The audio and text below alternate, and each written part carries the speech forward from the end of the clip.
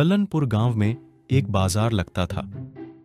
बाज़ार में एक रामू नाम का एक आदमी आम बेचता था। उसका दुकान बहुत अच्छा चलता था, क्योंकि रामू आम खुद के बगीचे से लेके आता था। उसका परिवार खुशी खुशी रहते थे। कुछ दिन बाद एक आदमी उसके दुकान के पास आया।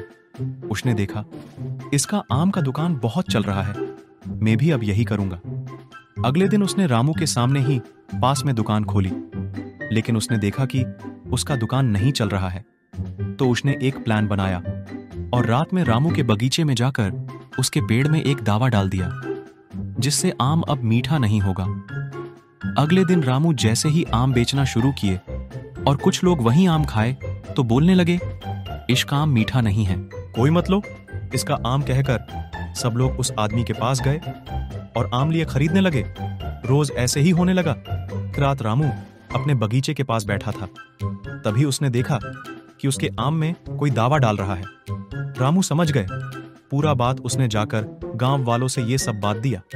फिर सब लोग मिलकर उस आदमी की जम के पिटाई किए।